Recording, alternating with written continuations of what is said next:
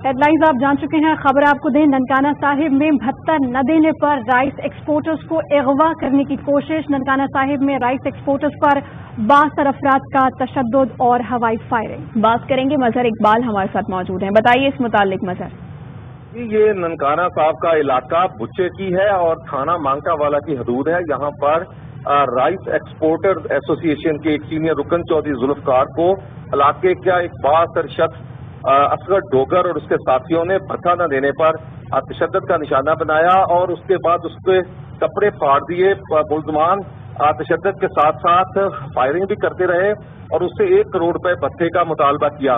भत्ता देने से इनकार पर उस पर तशद करके उसको जख्मी किया। फिर उसके बाद मुलजमान ने जो वीडियो थी उसकी, वो वीडियो भी कुछ लोगों ने बनाई और वो सोशल मीडिया पर वायरल कर दी ताकि इस शख्स की बदनामी हो और आइंदा से ये खामोश होकर उनको भत्ता देता रहे। काफ़ी देर तक मुलजमान ने उसको बढ़ाना करके चौधरी असगर अली जो राइस एक्सपोर्टर है और तकरीबन बारह अरब रुपए की उनकी एक्सपोर्ट है उसको तशद का निशाना बनाया फिर उसके बाद उसको फेंक कर तो मतलब मुकदमा तो दर्ज कर लिया गया है कोई गिरफ्तारी अमल में लाई गई है? अजीत थाना मांका वाला जो पुलिस है उसने मुकदमा दर्ज कर लिया है जिसमें असगर डोगर नामजद है जबकि उनके ग्यारह जो है नामालूम अपराध उनके जो साथी थे उनके खिलाफ मुकदमा दर्ज कर लिया है। 24 घंटे गुजरने के बावजूद अभी तक कोई गिरफ्तारी अमल में नहीं आई। है यानी आप बता रहे हैं कि सिर्फ़ मुकदमा दर्ज किए गए हैं लेकिन गिरफ्तारी अमल में नहीं आई शुक्रिया मसर